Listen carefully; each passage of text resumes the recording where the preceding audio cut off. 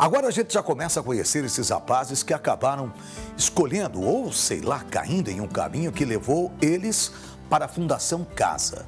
Mas eles estão tendo a oportunidade de mudar de vida.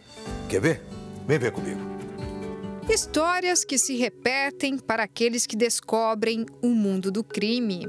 Eu vendia droga no mundão e infelizmente eu acabei caindo aqui dentro, Sara. Tráfico de drogas, senhora. Só nesta unidade ficam quase 60 adolescentes que vieram parar na fundação depois de cometerem infrações. Tá aqui dentro ninguém queria estar, né, senhora? É que eu vejo outras coisas, senhora. Eu vejo que aqui eu posso ter uma oportunidade melhor, eu posso melhorar a minha vida, senhora.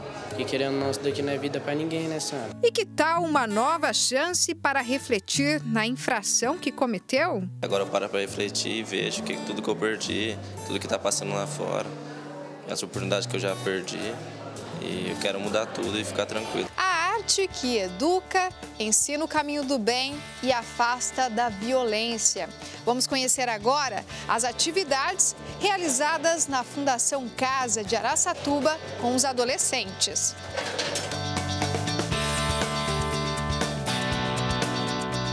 Uma delas é a arte plástica, um momento de descontração e mergulho no mundo das cores. Eles dizem para mim, Senhor, a sua aula é muito pouco, uma hora e meia é muito pouco, porque quando a gente está na aula do Senhor, a gente esquece é, onde a gente está, a gente esquece por que a gente está, então a gente esquece tudo e a gente foca na sua aula, no qual eu me sinto prazeroso em fazer essa atividade com eles. É plantar ali uma sementinha?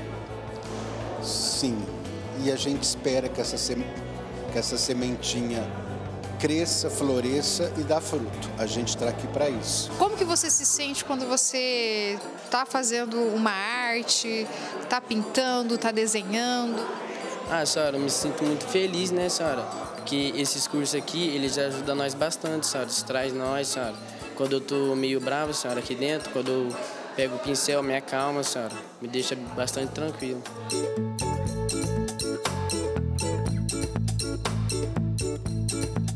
Outra atividade que faz sucesso por aqui é a capoeira.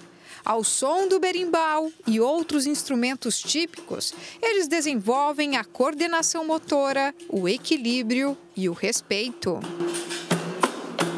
capoeira ela traz esse resgate cultural juntamente com ela, né? Ela veio de uma luta de libertação, então os meninos se identificam muito por conta disso. É uma luta de libertação. E a gente, quando a gente fala libertação, não é libertação das grades, sim da mente, né? Os meninos às vezes eles chegam aqui pra gente, eles acham que não são capazes de aprender a capoeira.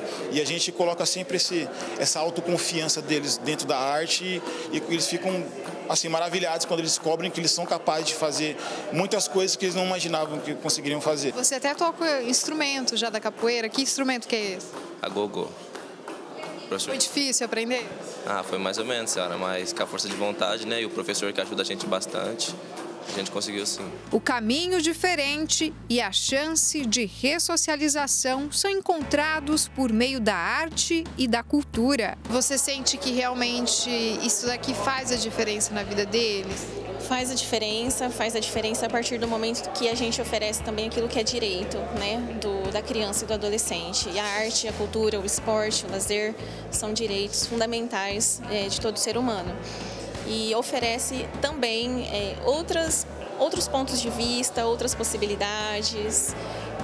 E tudo isso com certeza traz uma, uma mudança assim, para o adolescente. Os projetos são realizados em parceria com o GADA, Grupo de Amparo ao Doente de AIDS. Existe todo uma, um cuidado, exatamente levando em consideração essa fase peculiar da vida, de desenvolvimento um adolescente, ele está com a química do corpo e do cérebro toda bagunçada, porque é assim que é, né?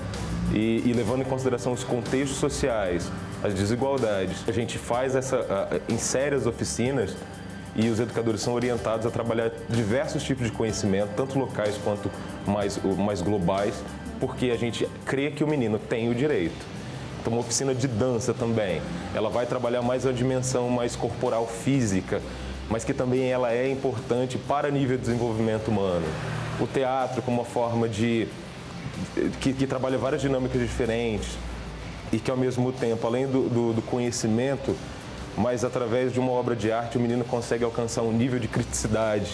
Ele consegue entender tanto as coisas que ele passou, as grandes opressões, o dado momento da vida dele em que ele também se tornou um opressor, né? Então a gente está nesse processo junto com eles.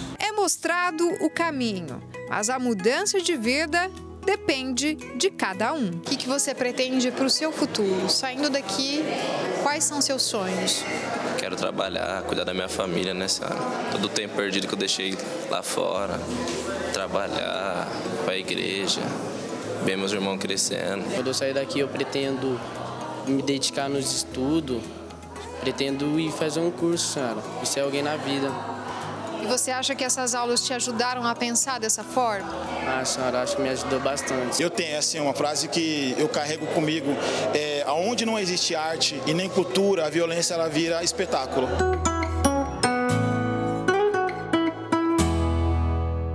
Algumas declarações aí que nós temos, eu até anotei aqui, ó. É, muitos reclamam das oportunidades perdidas, do tempo perdido, porque eles estão lá, né? Presos, não é fácil, é uma situação difícil. Agora, ah, alguém também falou o seguinte: libertação, não é a libertação das grades, e sim a, a liberdade da mente.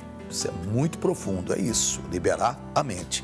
Muitas vezes a gente julga, mas é como nós ouvimos aí na matéria: nem sempre esses jovens tiveram boas influências ou uma vida com mínimo para sobreviver. E mesmo que tenham cometido um crime, sabendo que estavam errados, já estão pagando perante a justiça. E projetos iguais a esse que nós conhecemos hoje, com esses projetos, eles podem ser o incentivo que faltava para recomeçarem, para ter uma vida diferente, para ter uma vida nova. Acredite nisso, a mente é capaz de tudo, né? E se você realmente tiver bons projetos, de repente você muda sim a mente, o coração, o jeito de agir das pessoas.